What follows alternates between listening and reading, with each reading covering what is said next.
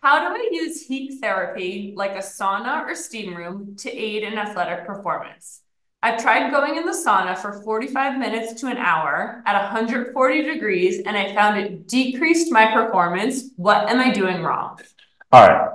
Awesome question. So, yeah, so for those who don't know or those who haven't heard of it, heat therapy is basically getting yourself into some environments that are really, really hot, right? So, for a lot of us, most of us who don't do like steam room or sauna, it's just being outdoors in the summer, right? It's really hot. We notice that the same four mile loop that we normally do feels a lot harder just because of the heat. Um, but here we're talking like targeted, intentional heat therapy. Um, I would say so, starting off, heat therapy, right? Heat in general is a stress on the body. And so the protocol that you use to implement heat therapy needs to be really, really specific. Otherwise, you're going to do more harm than good. Um, because again, a stress is a stress, right? Whether you go out and run 20 miles or you, you know, I don't know, do a bunch of occlusion therapy or you do sauna for an hour, like it's all sort of registered as stress on the body. And so if you overstress your body and doesn't, and you don't give it time to recover and adapt, then you're not going in the right direction of adaptation uh, and improvement. And so, you know, at that point, it just becomes extra stress without you actually reaping the benefits of the heat therapy. Um, so first, let's just talk real quick for those who don't know about what the benefits can be if you correctly do heat therapy. Um, probably the main benefit that people highlight is the increase in blood plasma volume right? And so what that basically means is you increase your blood plasma volume, therefore, you know, given no other bottlenecks in your physiology, increased blood plasma volume will equate to you being able to carry more oxygen in your blood, therefore being able to deliver more oxygen to your muscles, therefore, you know, hopefully resulting in greater athletic performance. Um, think uh, some people refer to it as like, you know, legal doping, right? Because a lot of performance enhancing doping kind of involves artificially increasing your blood plasma volume and whatnot. So this is like a really natural, really obviously, you know, legal way to do that. Uh, similar result.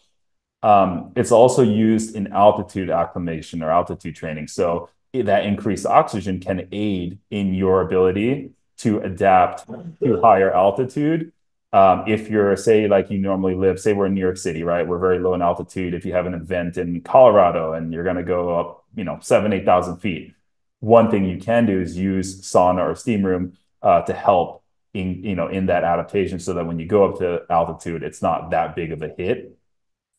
Um, and then finally it's through thermoregulated uh, effects. And what that basically means is right? You're training really cold, right? It's not now, but say say this is back in January, February, right? New York City's really cold. Your sweat efficiency, your sweat rate, things like that might not be adapted to hot environments, right? Because we're used to running in the cold and you know it's dreary outside. Um, and we're, our sweat rate is obviously lower because it's colder outside. So then, if you were to fly to Miami and race a, a half marathon, your body will feel that half a lot harder. You know, a lot of us experienced that this year with Boston Marathon, it being, you know, unseasonably warm. Um, in the grand scheme of things, it might not be so warm or so hot, but because your body's not used to it, it'll impact, it'll hit your body a lot harder than it normally would. So that's called thermoregulation. Um, and so getting your body used to dealing with that heat before you get into that environment can be helpful. Um, okay, so this person who emailed in you say they do 45 to 60 minutes at a time at 140 degrees, um, which if you don't know the temperature of your sauna at your gym or something, 140 is it's hot, but it's not like scorchingly hot. It's it, it's it's still hot, right? You're feeling it, but it's not scorching hot. Um, initially, I'm gonna say that 45 to 60 degree, uh, minutes is way too long.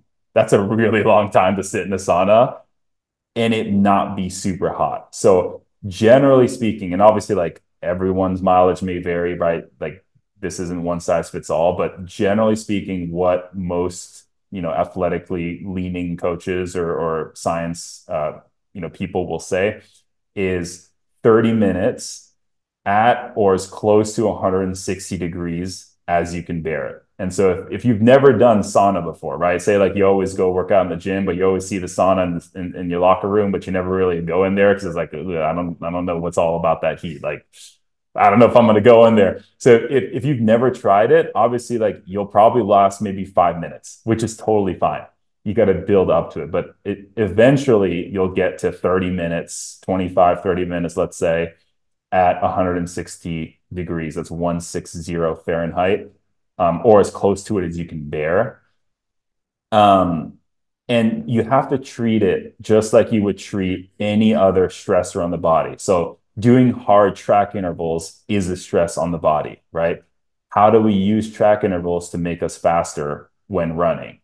You introduce the stress to your body, but then you have to give it time to recover and adapt to that stress. So if you do, you know, hard track intervals every day of the week for weeks on end, you're not going to get any faster, right? Because you're getting that stressor part good, but you're not giving your time, your body time to adapt and so, similar with sauna, if people always hit the sauna, but they don't actually give their body time to adapt to it, you're not actually going to benefit as much from it as you otherwise would. So, the proposed uh, protocol, and again, it's not an algorithm, right? There's a difference between an algorithm and a protocol in terms of you know this type of physiological implementations. Protocol means you follow this thing without deviation. Algorithm means you know you're following these things, but there's a lot of if-then statements kind of involved in that. Um, the protocol is say you have a, a, an A race or a big event that you're training for, and it's a, it's going to be in the heat.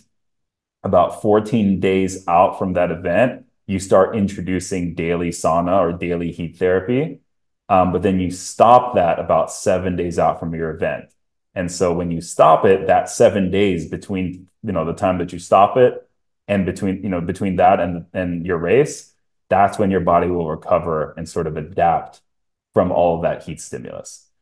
Um, that's the main idea. Uh, one other thing, some so this is a little more not controversial, but some people do this, some people don't. Again, experiment with it. Your mileage may vary.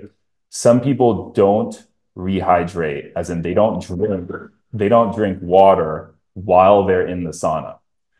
But if you do that, don't forget you have to make sure then you rehydrate when you get out, right? So it doesn't really, it won't be so helpful if you basically let that lead to dehydration the entire day. So if you're going to choose to not rehydrate while you're in the actual sauna, you have to make sure to kind of overcompensate and and really rehydrate uh, once you get out of the sauna. Um, the last thing I'll say is I would not do this type of heat therapy before an intense workout, even the day before, ideally you would do it right after an intense workout. That way your body can kind of, you know, recover from it and not hit a hard workout immediately after. So that's the kind of crash course um, on heat therapy. Any any any any questions? Right, so first of all, this might seem like it's plugged, but I'm always impressed with how smart you are, friend. like that. Paying her, I'm paying her money to say that. Um, okay, so just to understand it, so you were saying that 30 minutes is ideal, but some people can only do five minutes.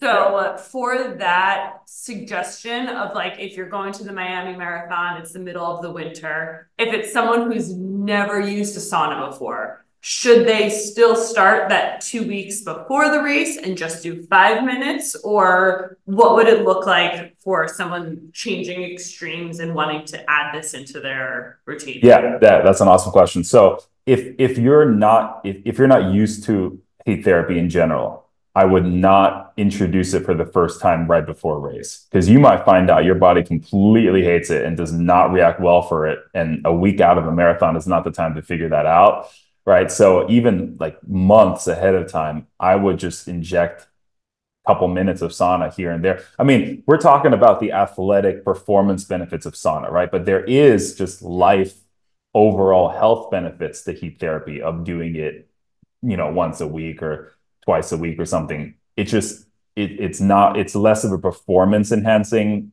therapy. It's it's more of a just like lifestyle thing. So if you're if you're not used to doing sauna, I would 100% do once a week, twice a week. Not difficult, right? Like chill sauna sessions, um, if that makes sense, just to kind of get used to it. And then that you know, when you're really ready to do the actual protocol of heat therapy for a performance, then that's when I would do the seven days, you know, every day, get in the sauna 14 days out of a race. And then the week of the race, you kind of recover from that. Okay. So how would you incorporate this into marathon or long distance training if you don't have that week of recovery time? If you don't have the week of recovery, I mean, I'd I'd make the recovery time. Unless you're saying your race is like tomorrow and then you don't have the time. What, what do you think, Kat? I think maybe they're mentioning that like they still run kind of that week before a marathon. Oh, um, okay. I, I, when I say recovery time, long distance is weekly. Um, when I say recovery time for of the heat therapy, I'm talking recovery from the stressor of the heat specifically. So, you know, typical marathon training plan, right? You do your longest run, what is that, three weeks out, then say like 20 miles, and then two weeks out, you do like 15. The week before, you do like 10, and then you do the race, right? Just very roughly. So that last week, you're still obviously running and training. Um, you would just not do any sort of sauna that week to let your body recover and adapt. More importantly, adapt from the sauna stimulus that you introduced 14 days out through seven days out.